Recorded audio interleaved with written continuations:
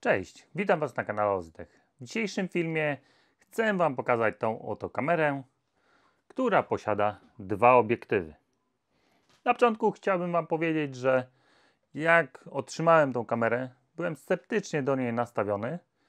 Pierwsze uruchomienie wewnątrz oraz e, jej sprawdzenie, e, no nie byłem zadowolony za bardzo. Natomiast jeżeli już wystawiłem ją na zewnątrz, okazało się, że kamera jest naprawdę warta uwagi i sami się o tym przekonacie. Zapraszam do oglądania.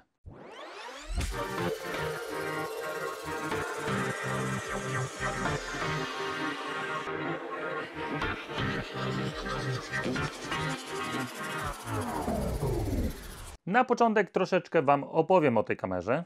Otóż, jak już widzicie, kamera posiada dwa obiektywy.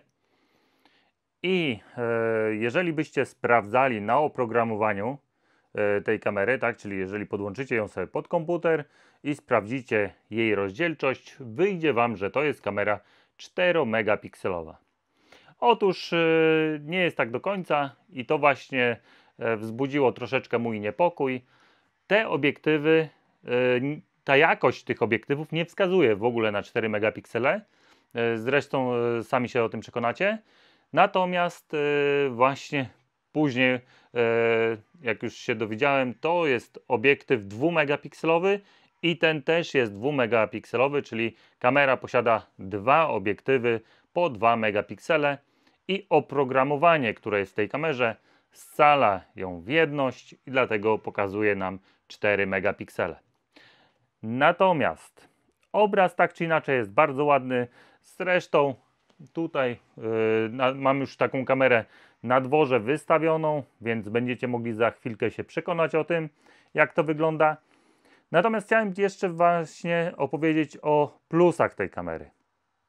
Otóż oczywiście kamera posiada slot na kartę pamięci, yy, posiada dodatkowe podświetlenie, które też możecie wyłączać, jeżeli ktoś nie chce podświetlenia posiada możliwość dodania jej do rejestratora, tak jak tutaj z tyłu widzicie, jest właśnie dodana do rejestratora, ale też właśnie tą kamerę można dodać do rejestratora Wi-Fi, który tutaj macie filmik i właśnie te, do tego rejestratora tą kamerę można dodać. A co szczególnego jest w tej kamerze jeszcze? Przede wszystkim yy, ma podążanie za ludźmi, ale co ciekawe, ma też aktywny zoom. Jeżeli wykryje człowieka dalej, bądź też człowiek będzie się poruszał, oddalał od kamery, kamera będzie automatycznie zoomowała na niego. Co w tańszych kamerach jest rzadkością tak naprawdę. Dopiero w kamerach 20 razy zoom e, taka opcja była. Tutaj w tej kamerze już jest. Na początku, co mnie właśnie troszeczkę zraziło do tej kamery, właśnie ten zoom. E, jak sobie na aplikacji przybliżałem, co zresztą zaraz Wam pokażę. Spokojnie nie będę e, tylko mówił, ale też będę zaraz pokazywał. Na początku właśnie jak zoomowałem sobie, to kamera e, no, słaba jakość była ze względu na to, że ona na początku bierze cyfrowo, przybliża, a jak wiemy zoom cyfrowy jest stratnym zoomem. Natomiast tam na tej skali będziecie mieli trzykrotność, potem 4, 5 i tak dalej, na, na trzykrotności przełącza się między jednym a drugim obiektywem i ten drugi obiektyw ma już ogniskową 12 mm, co daje nam automatycznie zwiększoną odległość. Dlatego też na początku, jeżeli zwiększamy, jest zoom cyfrowy, traci jakość, automatycznie przełącza się na lepszą jakość i znowu mamy możliwość zwiększania już drugim obiektywem. E, ten, ten przy, przybliżać po prostu dany obszar. Natomiast właśnie tak jak już wspomniałem, jeżeli kamera śledzi kogoś, to my nic nie musimy robić. Automatycznie e, wykryje kamera i automatycznie zbliży na niego. No super opcja, powiem Wam szczerze. W tanich kamerach było naprawdę rzadkością. E, a nawet jeżeli była opcja zoomu w tanich kamerach, to nie była aż tak, aż tak nie, nie przybliżała. Tutaj naprawdę przybliża bardzo, bardzo dobrze. U mnie na podwórku nawet nie jestem w stanie wykorzystać potencjału tej kamery, ze względu na to, że nawet nie jest w stanie kamera się przełączyć między jednym a drugim zoomem, jeżeli ja się oddalę od kamery. Co zresztą zaraz Wam pokażę. I jesteśmy na dworze. I zobaczcie, kamera nas nie śledzi, tak? Nie podąża za nami. Teraz musimy jej włączyć. Robimy ustaw pozycję, czas powrotu 15 sekund i włączamy. Teraz od razu kamera zaczyna nas śledzić. Oddalamy się od kamery i jak widać kamera zbliża. 1.4, 1.6 na 2, 2.2 wzięła, zbliżyła i koniec. Już dla niej jest za mało miejsca. Więc tutaj ja nawet nie wykorzystuję potencjału tej kamery, jak widać. Po prostu za mało miejsca jest u mnie na podwórku. O, ja mam tutaj w SD w ogóle ustawione. Weźmy sobie na HD. Zobaczmy, czy da radę na GSM-ie. Jako tako, ale działa. Już, już gorzej działa, jak widać. No jest dużo gorzej. Czyli najlepiej by było na SD zostawić, no ale jest dużo gorszy obraz, zobaczcie. Chodzi mi o regułę pokazania Wam, jak to działa. Jeżeli chcemy sobie na przykład zwiększyć, pokazuję Wam, jaki zoom jest mocny. Wezmę na SD na razie, żeby lepiej to działało później. Zobaczcie, wezmę, obrócę i ona sama wraca w tą pozycję, którą wcześniej ustawiliśmy. Więc jeżeli chcemy sobie poobracać nią, po prostu wyłączamy śledzenie i teraz możemy obrócić sobie na przykład w tamto miejsce 2.6 jest zoom cyfrowy. 2.8 jest zoom cyfrowy. 3 pyk przełączyło na ten drugi zoom. 8 i zoomuje cyfrowo.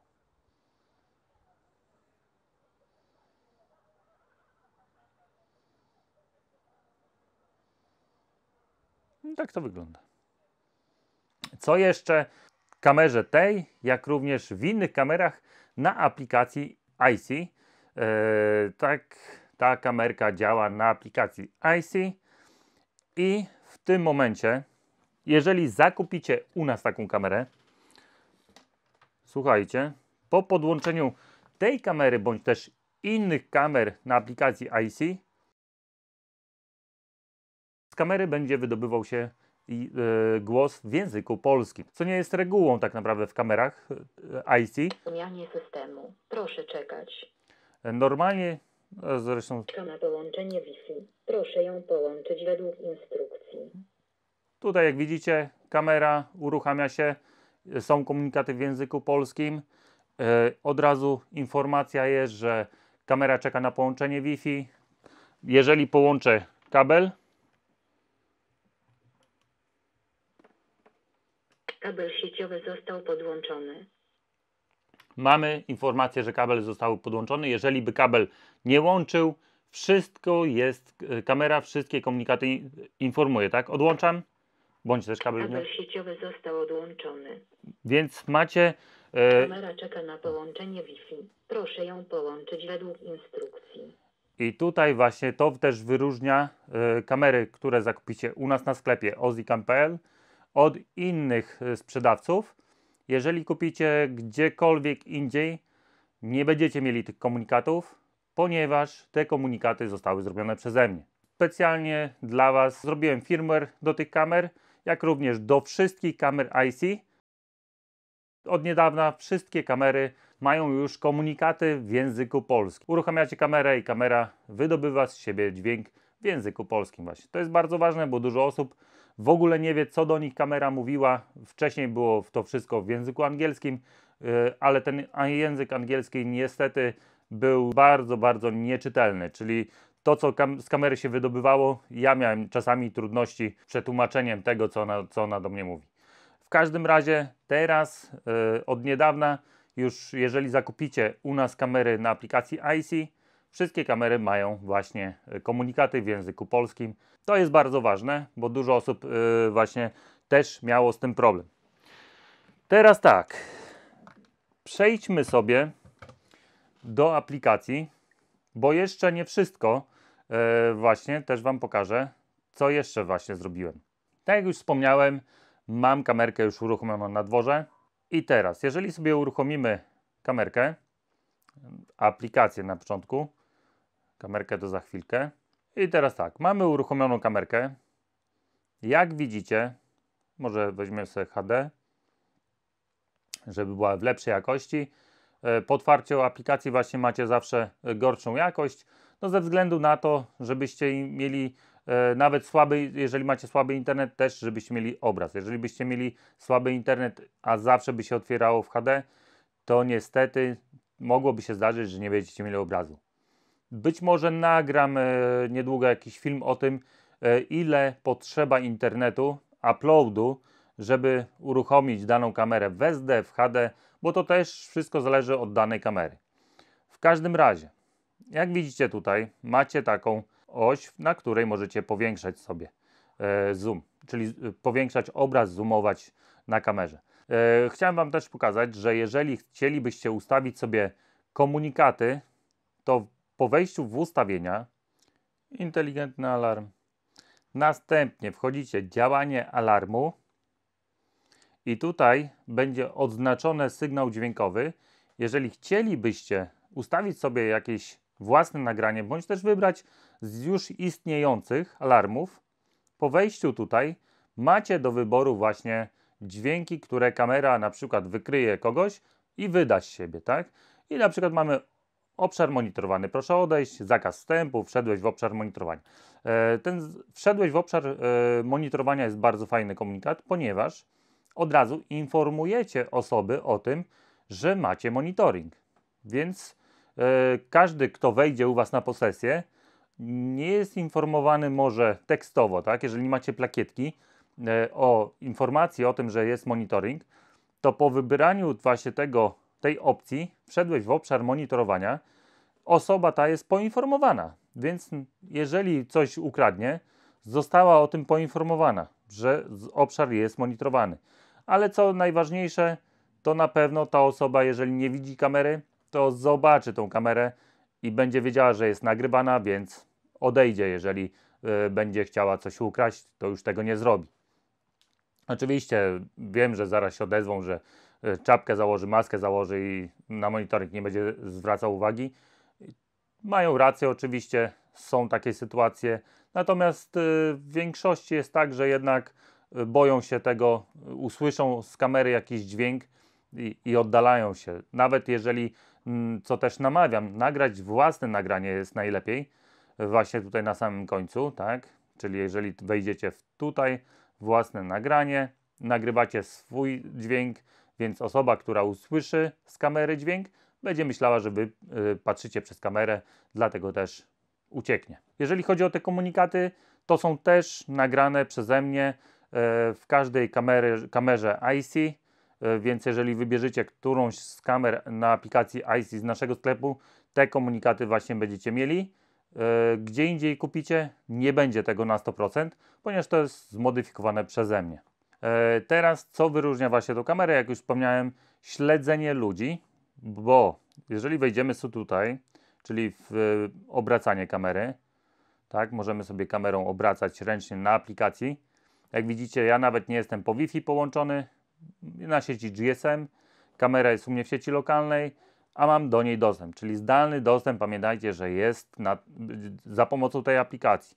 Jedziecie sobie na wczasy i będziecie mieli podgląd z tej kamery. Tutaj po lewej stronie możecie zobaczyć, jest takie śledzenie.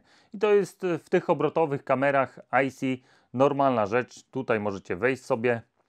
I co na początku musimy zrobić? Na początku musimy ustawić pozycję, do której kamera ma wracać. Bo jeżeli tego nie zrobimy, to kamera pójdzie za kimś i nie wróci w to, w to same pozycje, tak? A zależy nam na tym, że jak kamera pójdzie za kimś, po czas powrotu, jeżeli ustawimy tak, bo to jest następny krok, tutaj mamy czas powrotu. Załóżmy po 10 sekundach, tak, to jeżeli ustawimy, kamera właśnie wróci do tej pozycji. Czyli ustawiamy sobie, że chcemy, żeby tutaj kamera wracała, ustaw pozycję. Mamy ustawioną pozycję i teraz kamera wróci do tej pozycji. Jeżeli pójdzie za mną, minie 10 sekund, bądź też jeżeli ustawię inną wartość, to po tej wartości wróci do, do tej pozycji. Dużo osób e, właśnie szukało takich rozwiązań, żeby e, wybierać sobie czas. Tutaj fajnie, że producent dał taką możliwość, więc mamy możliwość ustawienia po ilu sekundach kamera ma wrócić w daną pozycję. I jeżeli mamy już ustawioną pozycję, wystarczy uruchomić śledzenie. To wszystko. W tym momencie wyjdziemy na zewnątrz i kamera zacznie nas śledzić. Jeszcze co chcę Wam powiedzieć, to dużo osób też pyta, czy w kamerach tej IC można wyłączyć podświetlenie. Oczywiście można to zrobić yy, za pomocą jednego przycisku. Jeżeli macie podgląd z kamery, to jest tutaj żaróweczka taka, tryb światła.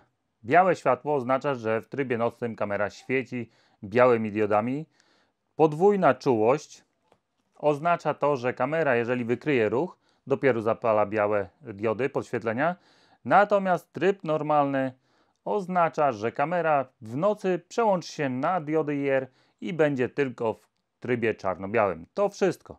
Także tutaj zawsze pamiętajcie, jest taka żaróweczka i wystarczy sobie wtedy wybrać co chcecie. Jeżeli macie podwójna czułość światła wybrane, to jeszcze trzeba sobie wybrać czas oświetlenia, co oznacza ile sekund, minutę, dwie e, ma świecić e, po wykryciu ruchu. Jeżeli ktoś chce mniej, 10 sekund zaznacza kamera wykrywa ruch, zapala diody podświetlenia, mija 10 sekund, wyłącza. Tak to wygląda. Także jeżeli chodzi o podgląd plików z karty, oczywiście przechodzimy sobie tutaj i wtedy mamy informacje e, bieżące z karty.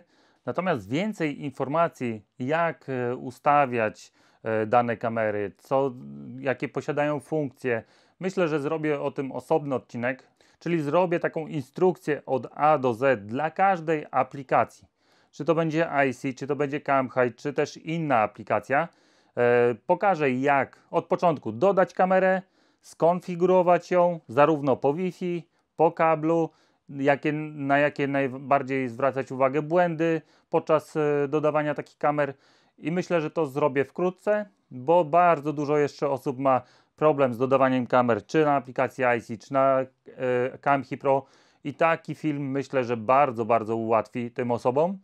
I właśnie zrobię taką typową instrukcję e, uruchomienia danej kamery na danej aplikacji. Bo jak już niektórzy z Was wiedzą, jeżeli zakupicie tą kamerkę, czy też inną kamerę na aplikacji IC, to procedura dodawania, łączenia tą kamerę, e, czy też inną kamerę na aplikacji IC z routerem jest identyczna. Tam się nic nie zmienia, tak? Natomiast no, tutaj macie właśnie komunikaty w języku polskim, więc jeszcze jest łatwiej, bo po uruchomieniu informacja jest jasna, że trzeba na przykład połączyć kamerę e, po Wi-Fi według instrukcji, a jak już wiele razy wspominałem, instrukcje u nas do tych kamer są na stronie, na, w opisie produktu.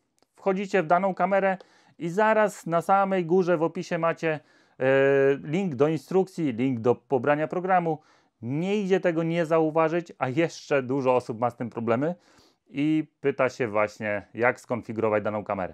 Więc jeszcze nagram film, to myślę w tygodniu, może tym, może następnym, e, i to będą dodatkowe filmy, czyli w tygodniu po prostu będzie seria filmów, jak uruchomić e, kamerę na danej aplikacji IC, Camki, P6 Slide.